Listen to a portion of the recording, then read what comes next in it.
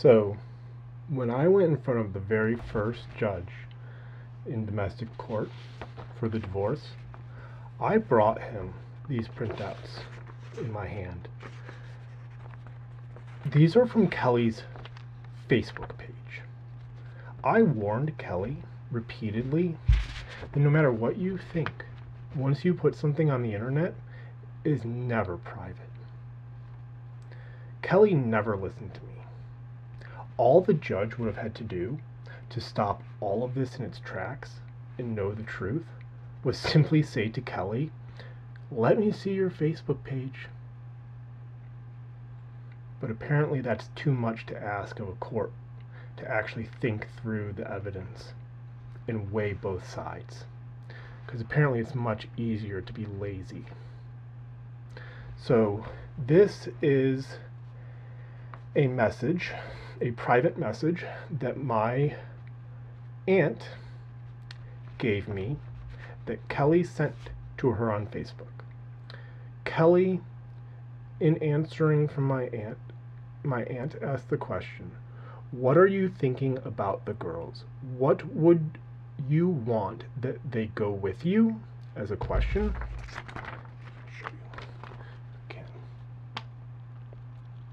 Then Kelly says, I would, but I want 50 50 custody with Brian.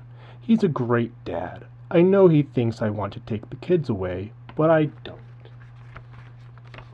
And then she filed to have the kids taken away from me and told them that I was a monster.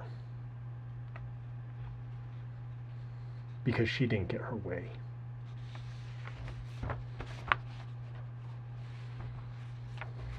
And this is why I don't feel bad sharing these with you.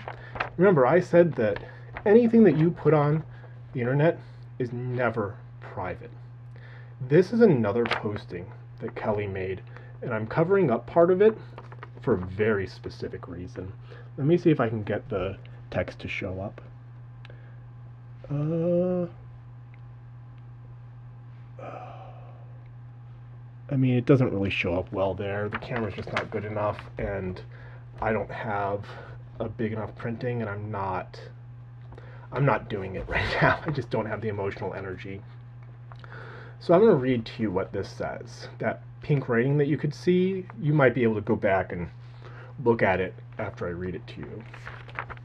It says, The face of a rotten child who is pretending to be innocent. And the reason that I covered it up is because it is a picture of our youngest child looking at the camera inquisitively. I don't care. I don't care what your kid does. I don't care what you think. You're, you do not own your kids. You don't get to treat them that way. That is not good mothering. That's not good parenting. And to put that up on Facebook, that will exist forever now. That is on how many servers? It went on Facebook, so it's on their front end server, it's on their back end server, it's on their backup server, and it's probably on a couple of other backup servers. And each of those servers is on a RAID system where you have multiple copies of that. Once you put something on the internet, for all intents and purposes, it is never gone.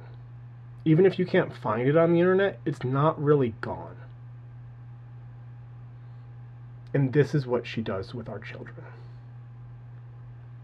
And because they didn't care to even ask the basic questions,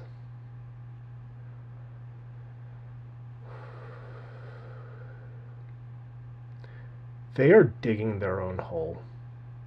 And I am more than willing to shovel the dirt back in on top of them and walk away.